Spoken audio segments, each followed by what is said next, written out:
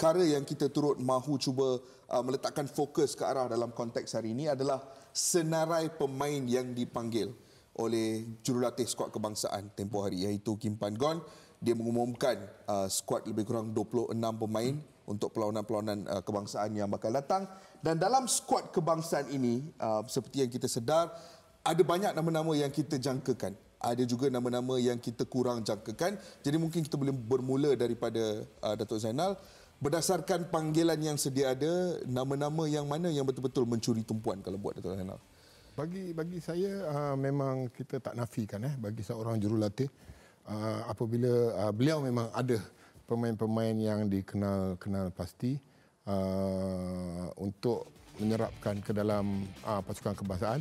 Tetapi di dalam masa uh, pemikiran itu dengan jangka masa untuk menamakan tu memang ada perubahan kerana hmm prestasi pemain amat hmm. penting. Jadi di sini kita dapat lihat core core player seperti uh, Sarul, eh, Matt Davis, Corbin Ong yang ni semua is a season player yang hmm. main Paulo Joshua memang memang di dalam perhatian. Cuma pemain-pemain yang yang memberi uh, tumpuan eh uh, macam Sarul Nazim hmm. eh uh, Azam Aziz kembali hmm. ini ini kita nampak Azam Aziz uh, kekurangan pada mula tetapi sekarang uh, beliau uh, bermain dengan begitu baik uh, dan juga uh, uh, banyak lagi pemain-pemain hmm. yang kita ingat dah tiada dalam hmm. uh, pasukan kebangsaan tetapi toward the end ni mereka menyelah eh kembali kembali ke dalam kembali, kembali ke dalam dan hmm. di sinilah uh, hak milik Kim Panggun hmm.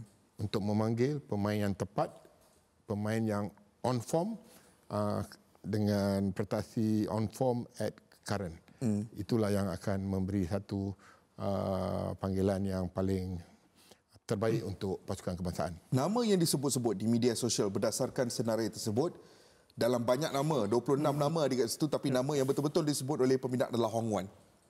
Ini adalah pemain yang sudah lama semua orang menanti untuk melihat dalam skuad kebangsaan dan akhirnya dia dipanggil. Bagaimana anda rasa teruja untuk melihat Hong Wan akhirnya uh, beraksi bersama skuad kebangsaan selepas uh, tempoh yang cukup positif bersama JDT? Ya, sudah tentu uh, bagi saya dan peminat-peminat di luar sana ingin tengok bagaimana Hong Wan dapat mengetuai di jentera serang uh, jentera tengah khususnya bahagian midfield defensive lah untuk uh, tactical yang diterapkan oleh coach Kipanggun itu yang uh, kita nak tengok sebab kita tahu Hong Wan di JDT ya not bad performance, uh, very good performance yang ditunjukkan uh, di dalam liga. So kita nak tengok international level macam mana dia mengatasi khususnya perlawanan persahabatan nanti. Bagi saya, uh, bagi saya Honggan uh, sepatutnya berada di dalam pasukan kebangsaan lebih awal lagi. Ya, jadi kerana kualiti yang beliau miliki, uh, defensif yang ada pada beliau hari ini di dalam Malaysia beliau yang terbaik daripada awal. Daripada awal eh. Bukan kata daripada uh, setakat ni hmm. beliau dipanggil tak daripada awal. Jadi bagi saya uh, good call up untuk dia dan pasukan kebangsaan.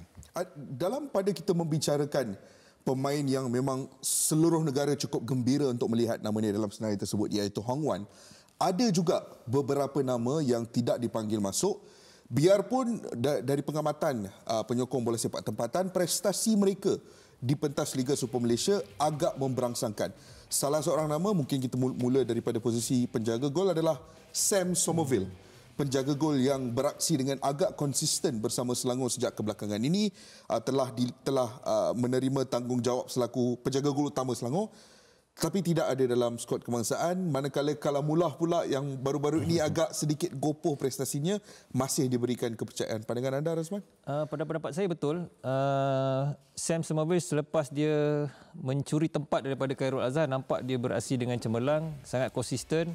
Uh, dia antara tonggak utama pasukan Selangor akhir-akhir ini. Hmm. ketika pasukan Selangor berada di dalam landasan yang baik dia adalah penjaga gol yang berada di dalam gawang gol. So saya rasa bagi saya lah sebagai peminat sepatutnya kita nak melihat dia berada di dalam skuad kebangsaan tetapi mungkin jurulatih coach Kipanggun ada dia punya penilaian dia hmm. tersendiri hmm. mungkin memberi peluang kepada Kalamullah untuk kali ini dan dan secara jujurnya saya rasa Sam antara yang layak juga untuk berada di dalam uh, skuad kebangsaan kali ini dia, dia lagi seorang nama daripada pasukan Selangor kita nampak tadi ada Syarul Nazim daripada Selangor yang ada di situ. Tetapi kalau kita tengok prestasi dalam lebih kurang dua bulan lepas, satu nama daripada Selangor yang betul-betul sedang menarik perhatian orang ramai adalah Harit Haikal yang menunjukkan kematangan yang luar biasa sejak kebelakangan ini. Tetapi pada pandangan uh, Chip, adakah melihat Harit Haikal ini mungkin masih lagi terlalu awal untuk memberikan dia uh, peluang di dalam skuad kebangsaan ataupun sudah tiba masanya sepatutnya pemain-pemain dengan kaliber yang ada pada Harit Haikal ini diberikan peluang? Bagi saya bukan ah, terlalu awal. Yang penting adalah filosofi daripada Kim Panggun. Apa hmm. sistem, apa yang dia kendaki pemain dia. Mungkin, mungkin ada pemain yang begitu menyelah di dalam liga tetapi uh, uh, tidak di dalam game plan dia. Jadi uh, uh, ini yang akan menjadi uh, tanda tanya dan uh, dan juga coach Kim Panggun perlu tak pemain ini. Tetapi kepada pemain-pemain ini adalah pasukan kebangsaan. Hmm. Besok lusa mereka akan dipanggil. Hmm. Bagi saya bagi saya uh, uh, menamakan 26 pemain ini uh, jika jika dalam masa terdekat mungkin mungkin coach Kim Panggun terfikir oh pemain yang lain uh, yang saya pernah lihat ataupun yang tengah menyelah uh, di dalam ini beliau boleh memanggil hmm. bila masa saja.